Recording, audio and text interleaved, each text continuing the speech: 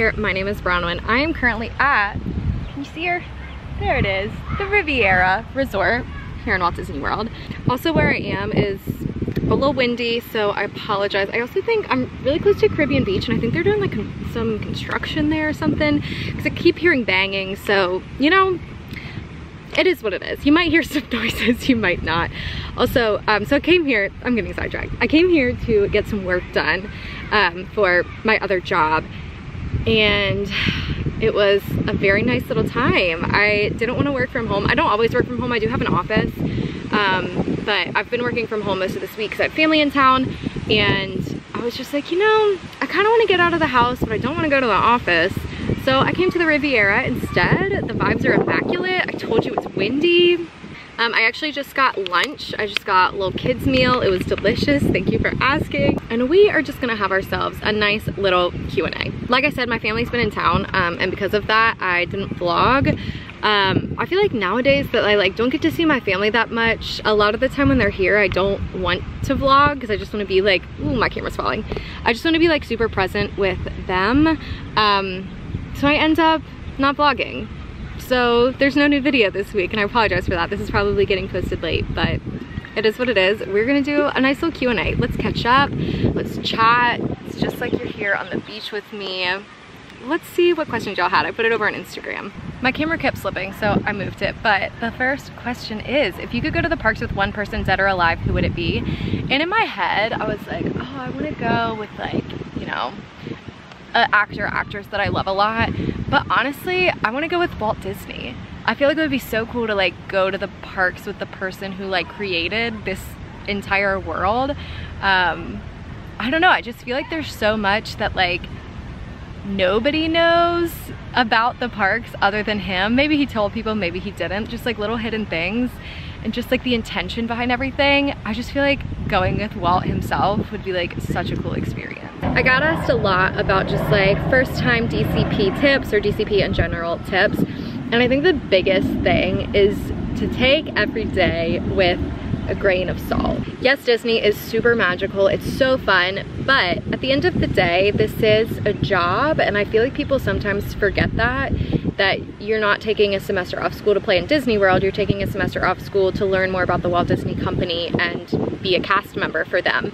Um, now, does anybody want to work 75 hours a week? Probably not. Like stuff like that, like it gets hard. And I'm not saying you're gonna work 75 hours a week, like that's just a random number, but I think because, especially with social media, you see people just like, oh, it just looks like they're in the parks all day, every day, and that's not the case. So I feel like having some sort of like realistic expectation of that this is a job and it's not always gonna be magical but it, the whole program I feel like is what you make of it. It can be the best experience of your life it could also be the worst experience of your life and I feel like it's kind of a like you gotta choose your own adventure and take everything with a grain of salt and that's how you're gonna have a great program. People ask me a lot if I like think that working at Disney has ruined the magic and I actually was having a conversation with somebody about this the other day that I don't think that working there has ruined the magic. If anything, I feel like it's amplified the magic because you get to see like firsthand and be the one to create that magic, like really what it takes to make Disney so magical.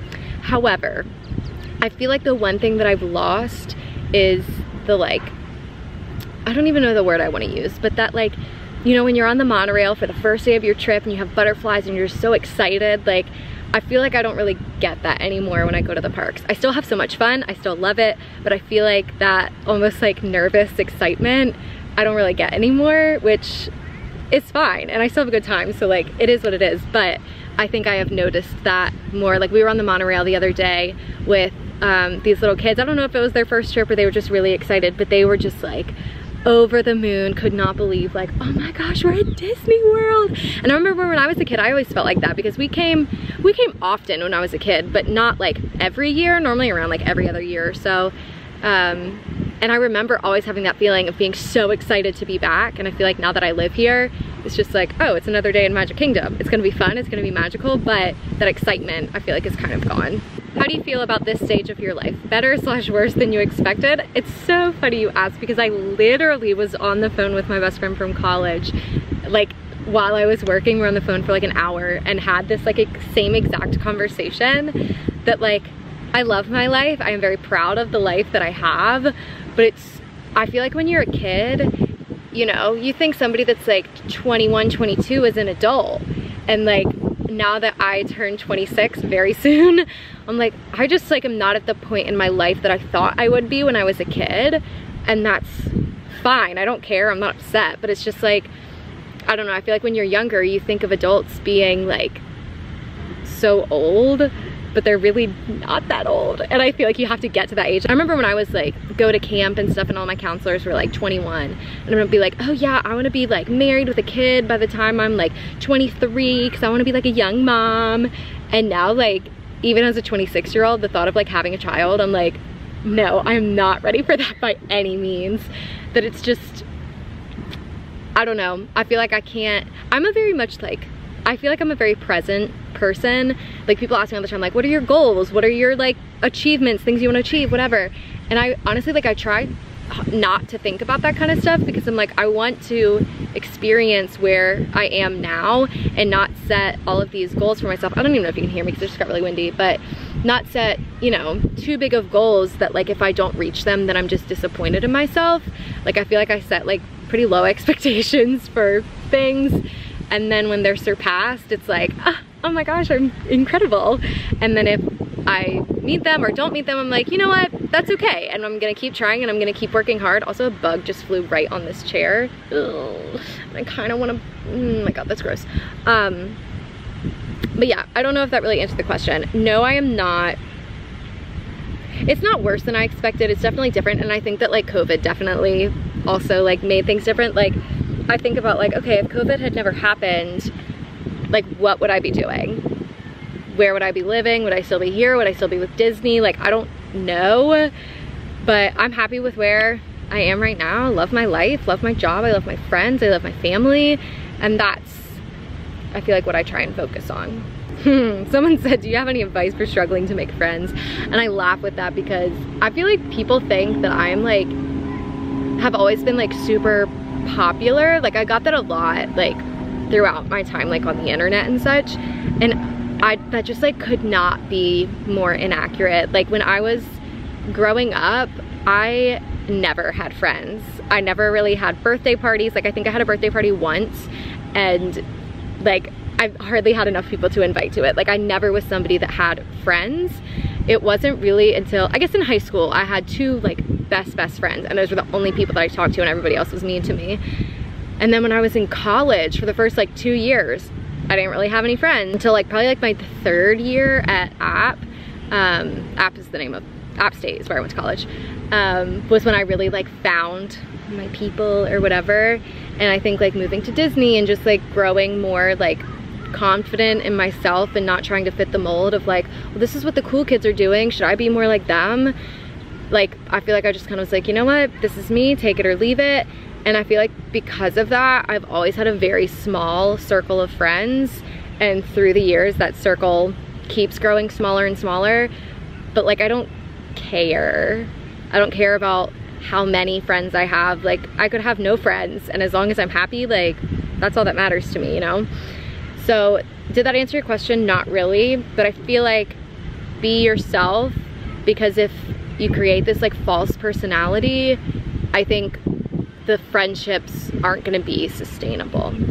what future run Disney events will you be doing? Oh my gosh. So I'm running the 10K for the springtime surprise um, race for the taste 10K. I'm very excited for it. My sister's coming down for it, so we're gonna do it together and Kate obviously is doing it with us. I also just got sand on my face. Um, the next one after that isn't until November. And I wasn't gonna do any of them because I don't love like the theming for all of them. But I was like, if I don't do that, then like, I'm not gonna do another one for like almost a year. So I think I might do the 5K for Wine and Dine and it's cocoa themed and I love cocoa. So like, I feel like it'll be fun. And then I might do princess again and do all of them. I want to at least do the challenge. We'll see if I end up doing the 5K also. It probably depends like who's on the medal, honestly. Because that was why we did the Cinderella one because we knew she was going to be on the medal and I was like, okay, I literally have to have a Cinderella medal. And then I do really want to do one of the races during marathon weekend. I'm not going to do Dopey. I'm not even going to attempt it. I don't want to do anything probably longer than a 10K. So we'll see. But that's kind of the plan right now. But first up, springtime surprise. I'm very excited. We've been planning our outfits because we're a little bit behind on that, but it's gonna be cute. Best memory at the parks when your mom and sister just visited. So like I said, my, well, I don't know if I said, my mom and my one of my sisters were just in town um, this past week and it was so much fun. And probably the best part, one, I liked doing flower and garden with them because it's really fun to do the festival with like more than one or two people, like more than just me and Kate, because then we can try more things because you're really only eating like a bite of something. Um, but my mom and I did the Keys to the Kingdom tour at Magic Kingdom, which was so cool. Like, I our guide for it was incredible. And I don't know, it was just like, I feel like I, a lot of the information I did already know, but it was still cool and like cool to learn like things that I like really had no idea about or really had never thought of. Um, so yeah, if you're looking for something to like change up your Disney trip because you know you've been to Magic Kingdom or wherever a billion times, I highly would recommend the Keys to the Kingdom tour. I think it was like 114 per person and that does not include your park admission. Um, so it's a little pricey, but it is a five hour tour and they provide lunch with it. So I thought it was worth it and I thought it was really cool. My mom loved it. Um, so yeah, that was probably probably the best part. I actually got a lot of questions about what I studied in college. Um, so I went to Appalachian State University in Boone, North Carolina, and I was a double major in dance studies and commercial photography. So I actually have two degrees. Um, and it's wild that these days I use my commercial photography degree way more than my dance one. I still take dance classes like when I can. Um, so like I'm still involved with dance, but my job is very much like intertwined with my commercial photography degree, which is just crazy because I was really burned out with photography by the time I graduated college that I was like, I want nothing to do with this. Well, look at us now. What's something coming up in your life that you're excited about? I feel like it's a very exciting time for me and my family. Um, both of my sisters and my dad are all engaged, so we've got lots and lots of weddings coming up in the next few months slash in the year. In addition to all of that, my oldest sister is turning 30 this year. My mom is turning 60 this year. It's a big, it's a big time for me and my family. So those are probably the things I'm most excited for this year. We got some other things here and there, but I'm excited for all of the weddings and the fact that I get to see my family a lot. How has your non-Once Upon a Bron job changed your schedule and ability to do what you want with Once Upon a Bron? Um, so I started a new job in November, like right after Thanksgiving. And I was not looking for a job by any means. I was like full-time doing social media and my shop and all of that, um, like full-time Once Upon a Bron. And then I just applied for this job on a whim, thinking I was like not qualified for it at all, but just like, what's the harm in applying, you know? I just feel like it's always good to like keep yourself out there and like interview and that kind of stuff just because I don't know. It's just like builds character or something, right? So I applied and on my application it said like you'll hear within the next seven days or so if like they wanted to interview with you or if they were like, nah, we're good, whatever. So it's like, okay. So probably like a month and a half go by and I still hadn't heard anything. So honestly, it was like kind of not even in my mind anymore. I was just like, oh, I didn't get it and it is what it is. I don't really need the job. Actually, I don't need the job at all and that's fine. I just wanted to like see kind of, you know? And then like the beginning of November, I got an email that was like, hey, if you're still interested in this job, like we'd love to chat with you and like all this. And I was like, oh, okay. So um, I met with the head of the company and they really wanted me to join the team. Um, and they were kind of like, not desperate for somebody, but the person whose job I took had just gotten a new job with Disney so they like needed somebody soon. So they were like you know we want you to have time to like think this over but also like we want you and want you to start like today. And I was like well that's a little tricky because I got some travel coming up but I can't after Thanksgiving. And they're like okay that's fine. That works for us. So uh, I took it and I you know was pretty upfront with them about like I don't want to stop doing what I'm doing. Like I like what I do now. I liked doing like my shop and just YouTube and all social media like full time that I was like, I'm not gonna give that up for this job. I'm gonna give this job my all, but I need y'all to like be flexible with me that like I can't work nine to five Monday through Friday. Like that's just, I can't do that schedule. And they're like, no, no, no, that's totally fine. That's totally fine. Um, So yeah, I've been in the job for about five months now and I do really like it. However, the balance between that job and the rest of my life has been like a big struggle for me. Because um, basically I either go into the office every day or work from home, um, normally until like three, four o'clock. And then I come home and I pack orders or I make new stuff or I'm like organizing like folding shirts that, you know, I just got a shipment of a lot of shirts and I have to fold and, you know, put all those away and that kind of stuff um, and I have to have time to like go out and film a video and then edit the video. That it's I've I've found a really it really hard to balance all of it. Like I feel like I really haven't had a day off in months because between just working events for that job or like meetings that I have to be at um, and also like you know, because I love going to the parks and I think it's so fun, but when I go to film a video, like it is at the end of the day, I'm working, which is fun and it's fine, but yeah, my schedule has just been like non-stop. Um, like today that I'm filming, this is Friday. Tomorrow I have an event. Sunday, me and Caitlin are going to the parks to film a video, and then Monday through Friday, I work again. And then Friday night, uh, my dad's gonna be at the beach near Florida, or in Florida, um, so we're going and spending a night with him and then Sunday's my birthday. So we have big plans for that day. And then I'll go into work on Monday and work that whole week. And then I have another event that weekend that it's like, I just feel like I'm go, go, go nonstop. And I'm a very like, I'm a very independent person and I like my me time and I feel like I have not had that in a while. So is an emotional breakdown coming? Probably, we will see. Um, so yeah, it's been hard to say the least.